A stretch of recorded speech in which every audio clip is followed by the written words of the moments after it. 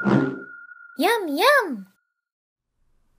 Hey everybody, uh, this is just kind of a little bit of a teaser for something that I'm going to be working on uh, coming up here, another uh, upcoming episode. Uh, there's been discussion in the forum about Modo's sculpting tools, and, uh, and there's a bit of uh, a bit of issues people were having with getting um, higher polygon counts and still being able to sculpt and and getting any kind of decent performance. Um, and so I had been doing a few tests, I just wanted to see if I could confirm what I had kind of believed in my head that I was getting uh, which was sculpting on you know 10 to 15 million polys without much of an issue. Um, and so I, I, just did a you know this is just a quad ball sphere subdivided, uh, yada yada. Um, and I just wanted to kind of show. So here we are. I'm taking. I can sculpt over here.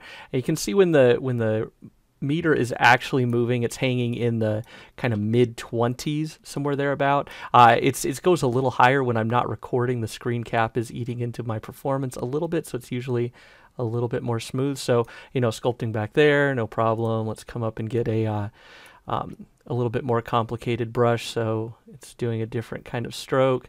You know, great. Um, and it's all working. And usually, um, as I'm sculpting with the meter on here, which I'm going to turn off, so it's out of the way.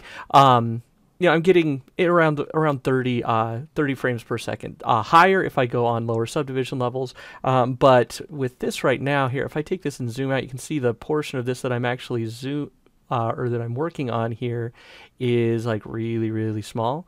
It's just this little tiny uh, bit of this sphere. And just to make sure it wasn't because I was only sculpting on a little, I just went and kind of doodled all around the sphere just to see um, if it was still working at a decent rate, and it uh, was. Uh, just maneuvering and working around, getting really, really high frame rates, well over uh, 100 frames per second, and then sculpting, uh, depending on the uh, the type of brush, the uh, type of mark that I'm making, and the uh, the subdivision level, I'm ranging between 20 and 40 frames per second on sculpting.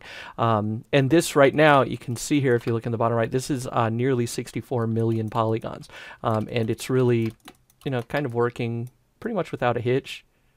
And again, I'm screen capping right now, so my performance has dropped off a little bit.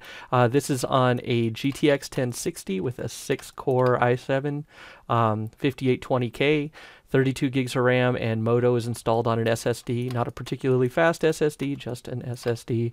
Um, I'm running Windows 10. So um, I did a test over on my older Mac Pro, which I don't have uh, Camtasia set up on, but uh, was getting uh, somewhere in the range of 10 to 12 million polygons with you know similar results. I tried pushing it up to closer to 20 and it started to break down. That system only has 12 gigs of RAM. It's an older quad core processor and has something like a Radeon 58 hundred series graphics card, so much much lower spec, um, and it's running OS 10, so different OS as well, but still running you know 10 million polys, uh, 12 also pretty easily without any problems um, with the sculpt. So um, I'm going to be making a video on just some tips and some things that I noticed. This has uh, made me start to get a little bit more uh, introspective with what I'm doing when I am sculpting. Um, obviously, this is just a big ugly doodle, but um, so I'm going to do some tips and tricks, a short video just to give some ideas of what you can do to be able to get better sculpting performance um, on your own machine. So hopefully that will help everybody out. Um, but for now, that does it for this one. Hopefully, um, if nothing else, it just uh, proves to me a little bit of confirmation that um, you can get some good uh, detail and good results on really high poly counts here inside of Modo. Um, this is an extreme torture test. You don't never need to go 60 million polygons. I don't think that's something that you would ever need to really sculpt on. Um, if you do, you could break it down in other ways in order to get the kind of performance that you need. Um, but definitely in the 10 to 20 million, you should be totally fine. Uh, so I'm going to put together some tips and tricks for you guys. Um, that does it for this one. Thanks, and I'll see you guys next time. Yum, yum!